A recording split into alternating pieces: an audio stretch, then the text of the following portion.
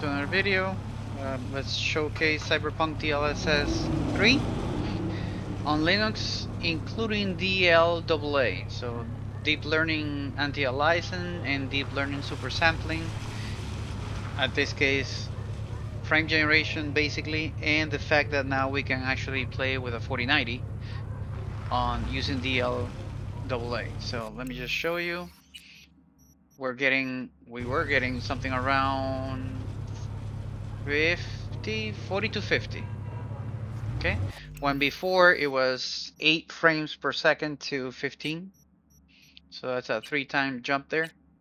Um, I got it like this, like I'm putting on the worst case scenario.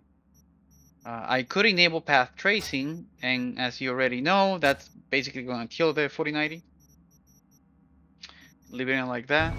Let me just show you. That's and we're still getting instead of getting 8 FPS, we're getting around 30 FPS. Okay, let's just move around a little bit. Yeah, around 30. Before it was just 8. Uh, so let me disable this. And let's change the DL. Actually, let me leave it like this. Let's drive around a little bit. There's a... Wow. When you move around, it looks different. Like with better quality. But we're getting 50, so that that's great. Uh, that's um, what are we talking about? Three times jump um, with frame generation. Before it was just 15. Look at the graphics. You okay? Rough neighborhood. Oh yeah. And now let's just put the um, the quality mode that we had before. Um, I think I had sharpness like that. Let's see how it's gonna. Yep. So before, before, if you can watch my previous video about this, you would see that I should be getting between 50 and 60 FPS. Now we're getting 80 FPS. Around 80. Well, okay. Above 80 FPS. Almost 90 or sometimes 90.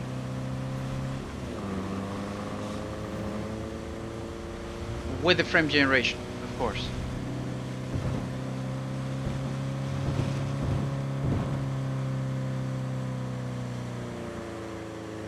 Yeah, it's steady there.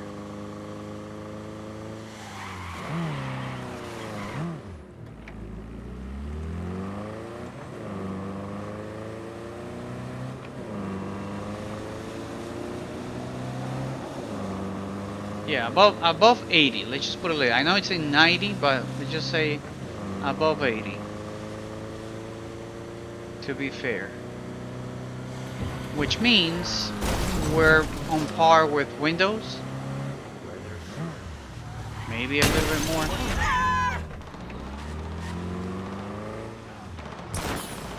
Oh my god. It's a lot of crime to have my kids around here.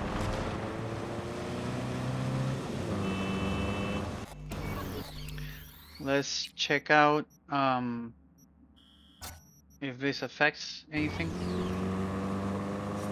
Okay, so we're getting that 80 still there, so it, didn't affect that. But I can, I, I don't know if you can watch that on the video, but I can actually visually see the difference. So let me just put this like in 50 or something. Maybe enable that there too. Yep.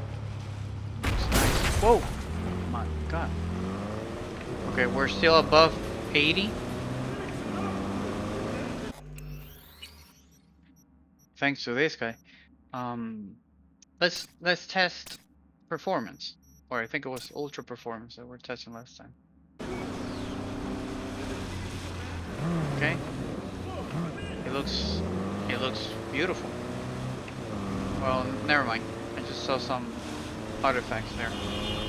But it looks nice. It looks it looks good.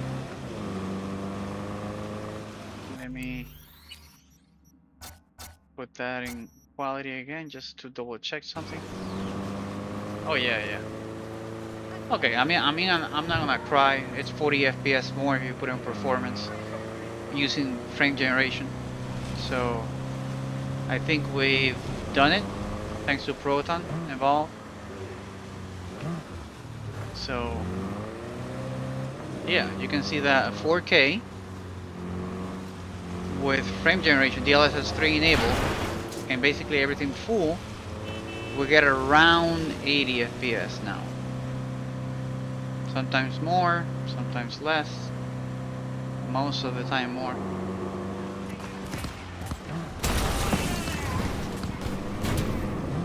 All units in the area. Disorderly conduct reported in Watson. 331 responding. On my way, dispatch. But only because I like you. Get to that zone. Look at the graphics. Yeah.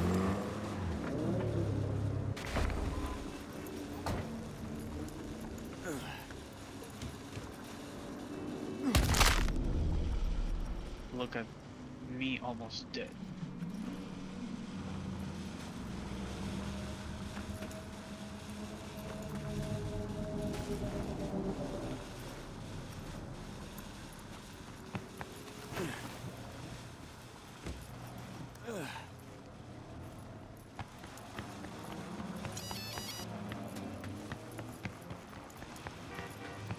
Crap.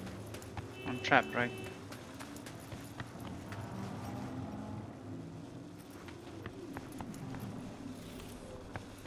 Well, anyway, we're getting 90, same as uh, me driving.